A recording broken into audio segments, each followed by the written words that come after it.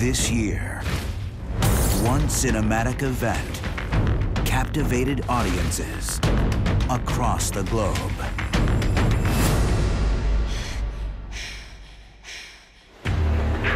Now, the girl with the dragon tattoo will play with fire.